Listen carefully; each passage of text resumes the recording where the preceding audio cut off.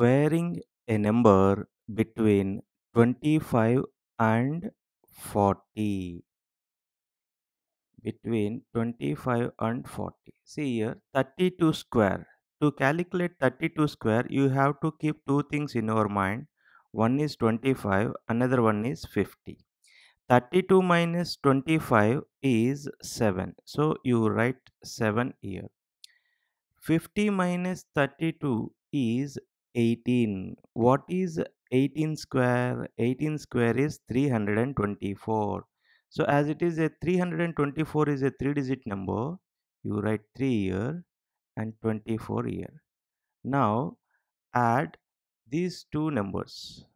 7 plus 3 is 10 1024 so 32 square is 1024 similarly 34 square. You have to keep two things in your mind.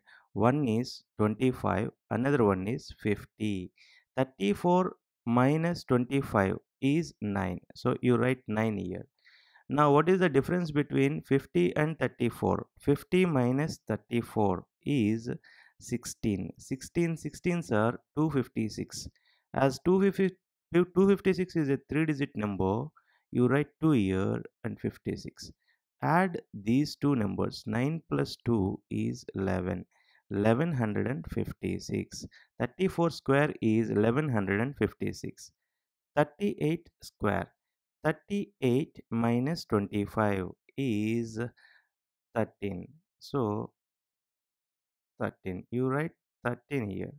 Difference between 50 and 38 is 12 12 square is 144 add these two numbers. 13 plus 1 is 14 sorry 12 square is 144 13 plus 1 is 14 and 14 so 38 whole square is 1444 35 square. 35 minus 25 is 10 you write that 10 here. 30 50 minus 35 is 15 15 square is 225 225 10 plus 2 is 12 25 so 35 square is 1225 and we have one more shortcut uh, when a number ends with 5 35 square.